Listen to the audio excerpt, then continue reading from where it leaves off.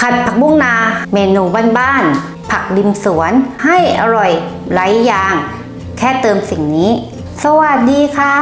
กลับมาพบกับอุ๋ยเอเชียฟู้ดซีเคดนะคะ วันนี้ค่ะเราจะมาทำผักบุ้งนา ผัดน้ำมันกันค่ะ ตอนนี้เนาะฝนก็กำลังตก ผักของเราก็กำลังสวยเลยค่ะ นี่ก็จะเป็นผักบุ้งนาเนาะผักบุ้งที่เก็บจากข้างบ้านเลยค่ะยางเขาเยอะค่ะ วันนี้ก็มีเคล็ดลับในการ ผัดผักบุ้งนาของเรายังไง ให้สวยไม่มียางค่ะ มาค่ะ เราก็มาดูส่วนประกอบก็มีแค่กระเทียมกระเทียมปอกเปลือกเลยค่ะ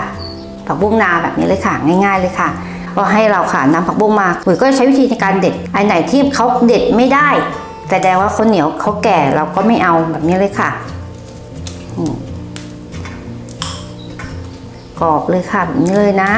ถ้าเขาเด็ดไม่ได้แสดงว่าเหนียวก็ไม่ต้องเอาค่ะ นี่เลยนี่ค่ะ เราให้เราเตรียมน้ำหนึ่งกระมังค่ะ แล้วใส่เกลือลงไปค่ะ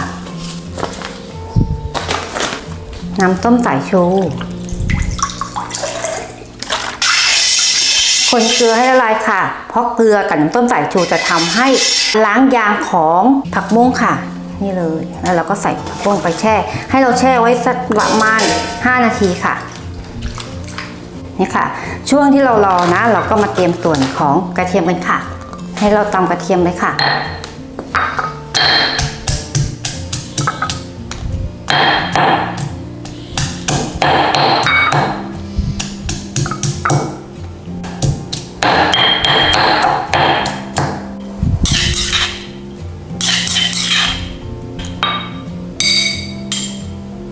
นี่ค่ะ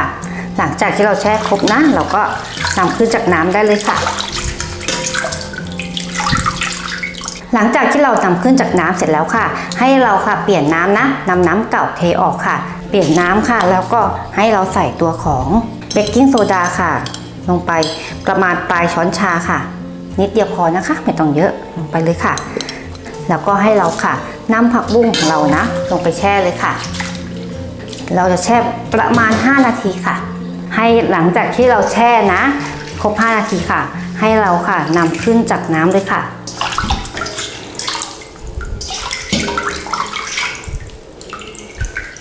ตั้งกระทะเลยค่ะ แล้วเราเปิดไฟเลยค่ะ แล้วให้เราค่ะใส่น้ำมันลงไป รอให้น้ำมันร้อนค่ะ ใส่กระเทียมลงไปค่ะ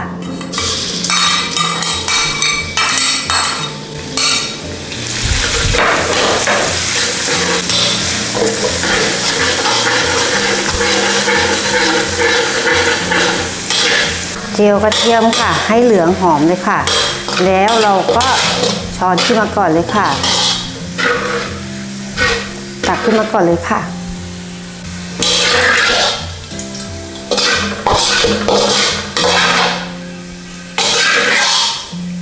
หลังจากที่เราตักกระเทียมขึ้นแล้วค่ะ เราก็เปิดไฟค่ะ แล้วเราก็รอให้น้ำมันร้อน ให้น้ำมันร้อนจัดแบบนี้ค่ะ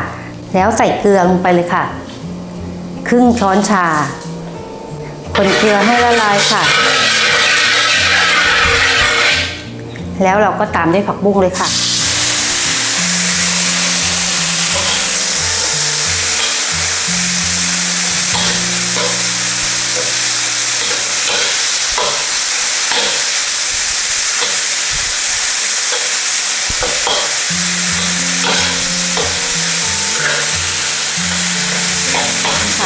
แล้วเราก็เติมด้วยซีอิ๊วขาวเล็กน้อยค่ะ เราจะนำไปทานคู่กับน้ำพริกนะไม่ต้องรสชาติไม่ต้องเค็มมากค่ะ